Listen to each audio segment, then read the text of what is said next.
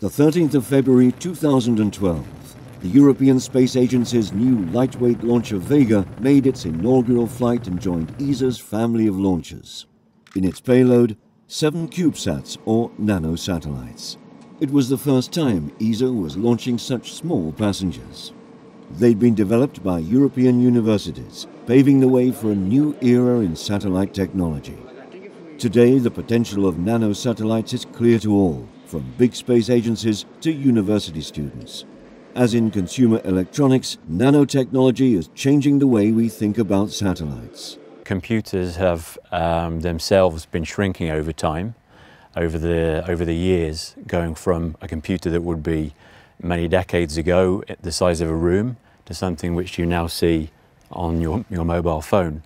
And a similar analogy is, is happening in the, uh, the space sector we see that satellite uh, functions have been shrinking from something the size of a washing machine to uh, now something the size of a CubeSat, basically a satellite in a shoebox. CubeSats were first developed by students and professors as a means to acquire experience designing, building and operating space systems.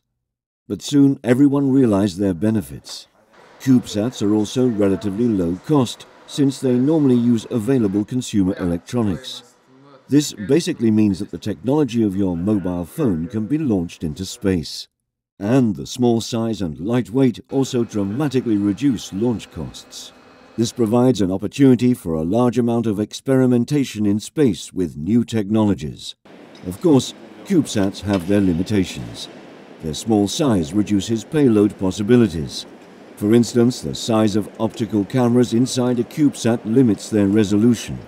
But for ESA, it's an interesting field. We see them as complementary because uh, the possibility to have a, uh, a, constellation of satellites, for instance, of this size, could offer advantages in terms of uh, remote sensing, for instance, to revisit locations above the Earth on a very frequent basis and get very uh, quick data back on uh, things changing on the ground.